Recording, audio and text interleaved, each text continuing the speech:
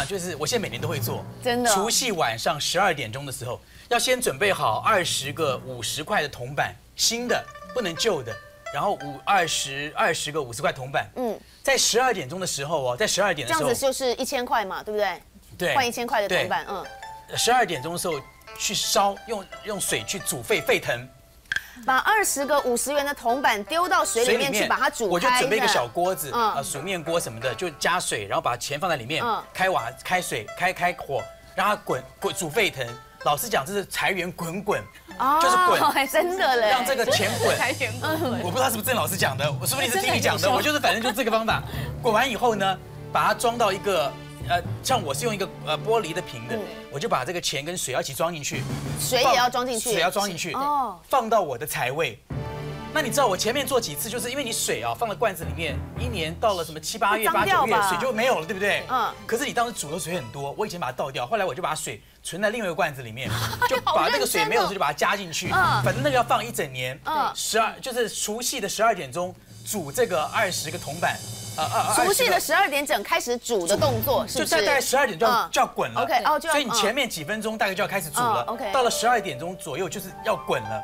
然后等它凉了以后，就把它装到罐子里面，放到你的财位。嗯，哎，真的很有效哦。怎么样的有效法？就是你赚钱变多真的了嘛，就是会这样子嘛是真的，这个财源突飞猛进这样子。我决定把那一碗喝下去，财气逼人，土豪老师就是所以郑。老师是你讲其的吗？实这个哈，我们对，其实可以喝吗我我几个方法，就是说因为其实除了刚刚的那麦麦这样做之外，其实像我们乔迁的时候，这个方法也非常好用。搬家的时对候，那么搬家的时候，其实我们会用一个壶，那个呃那个笛音壶，嗯它还除了滚之外，它还要叫，哦，要叫，要财源滚滚之后，他还要叫，一鸣惊人，他的钱呢越来越旺。嗯然后呃，把这个把这些就是烧过的这个水跟这个钱币一样是要放在一个玻璃瓶里面。当然，其实这样的方法是放在财位上是最有效的。可是很多人等一下。对所以这个玻璃罐子、玻璃瓶有没有限制？只要是个玻璃瓶就好，还是要是一个容器，还是一定要玻璃？玻玻璃的，一定要玻璃的。是玻璃的容器哦。容器。玻璃的容器。因为看得到，因为看得到，因为你看得放在那边，你看得到这个钱币在下面看得到。你的意思说放在财位，就是你讲的，比如说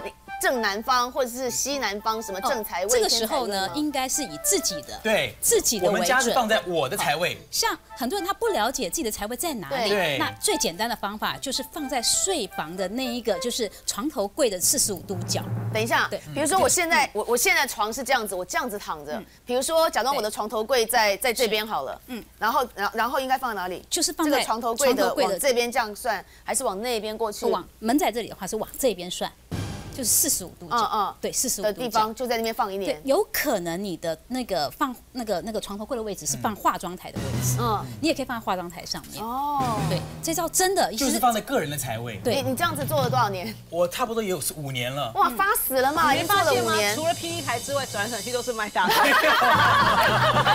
全是麦当劳。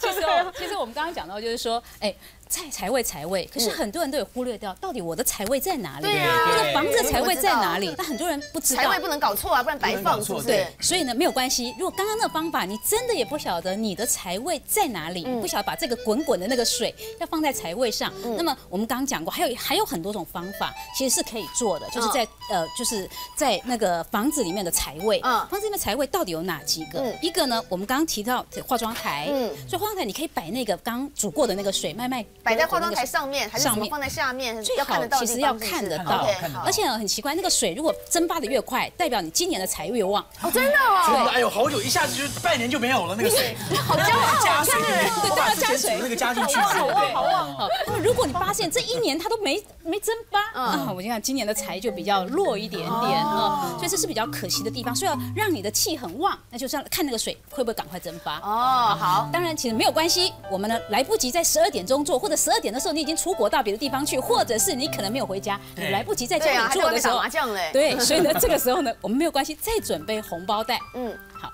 这个时候呢，我教大家准备八十八块的红包袋四个，里面放八十八块钱，对，嗯的红包袋四个。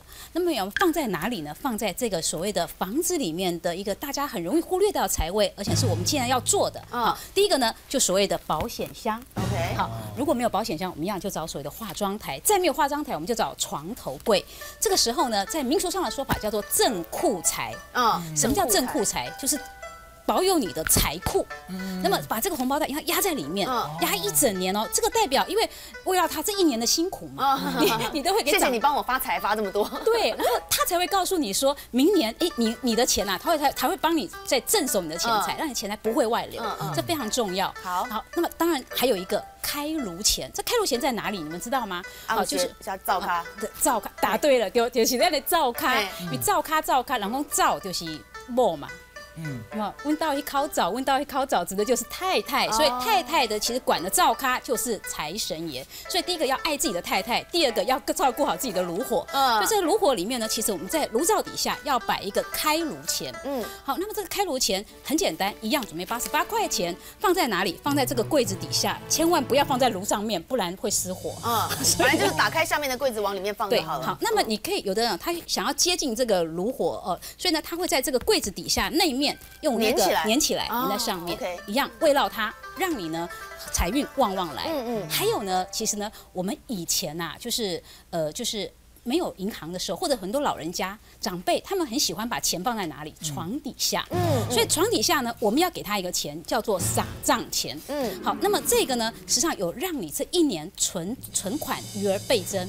那么为什么？其实很多人会觉得说，他每天都有在赚钱，可是呢，其实都入不敷出。对，这一招可以左手进右手出。对，这一招呢，就是让你的钱存存存满满。那就把它放在地上就好了，还是贴在床板底上会比较好？我们要贴在这个床板的底下。就是贴，也是贴钱。对，不是这个呃床垫哦，嗯，是要在床板底下最下面，手伸进去把它贴在床板上。对，这样是很有效的。嗯，好，当然其实还有一个所谓的水槽底下，这个水槽呢，我们讲的是厨房的水槽，好，因为水带财。好，那么呃厕所那个，因为它比较污秽，所以呢我们就不放在那里，要放在厨房底下的水槽底下。